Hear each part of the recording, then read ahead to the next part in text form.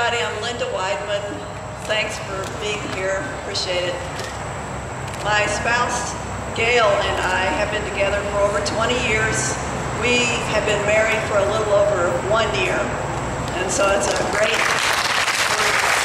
we're really grateful and thankful that we were able to do it. And we continue to be proud Iowans and glad that we live in Iowa.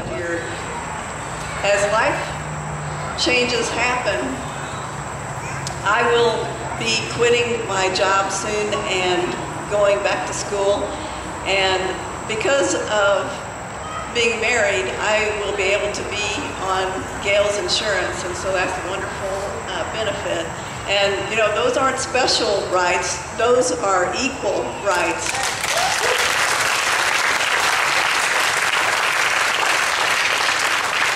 if I ever have the unfortunate uh, case to have to visit Gail in the hospital, I want to be able to do that without fear of being turned away. You know, those, like we have all mentioned here before, those aren't special rights, those are just equal rights. You know, we, um, a lot of people take those things for granted and they aren't for us. When we travel, we take our marriage license with us so we can prove if anything happens while we are traveling that we are legally married. I don't know of too many other married couples that have to do that. So thank you all for being here and uh, please do vote this November. It's important for us to uh, elect officials that are supportive. Thanks.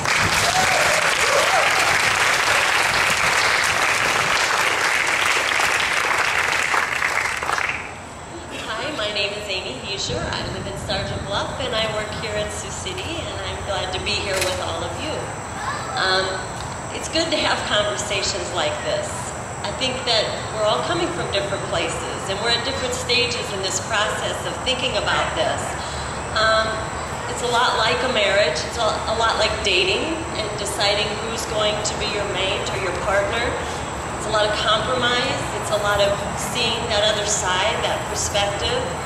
And I guess that's why I can appreciate the passionate response of the National Organization for Marriage. They believe in marriage. I do too. I don't carry my marriage license.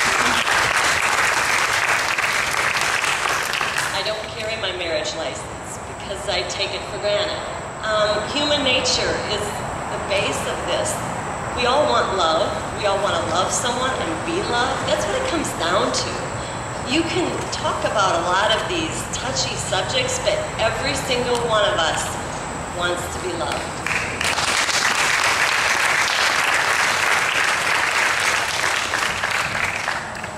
Early on, we start looking for those people to surround ourselves with that support us, that care about us. And somewhere in that mix, we try to find one person that we connect with. And pretty soon, we have those conversations and we start building what if? What if we have a future together?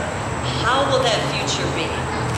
We all do that, whether we're gay or straight, whatever our life circumstances. And so that very basis is something that connects everyone, regardless of being straight or gay. There are legal rights and security that marriage brings that I've so assumed, I've so taken for granted. My husband will tell you it's a privilege for me to be married to him.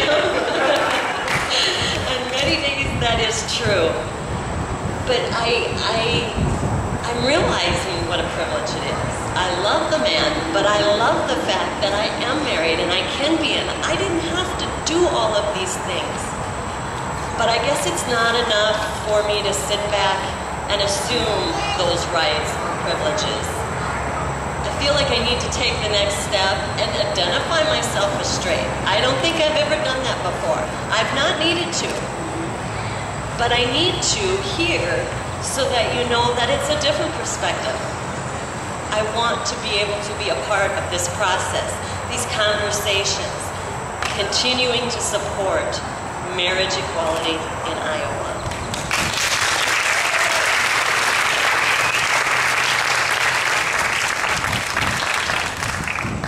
I'm very proud to be an Iowan. I'm from Wisconsin. You can hear it sometimes in the way I talk. I haven't lived there my whole adult life. This is my home. This is where my children are being raised, where I work. I am so proud of what we put forth as a state. And this is yet another reason that I am proud. And I want to stay proud. And I want to continue to fight, as so many of you are, for marriage equality, the rights that we all deserve. Thank you.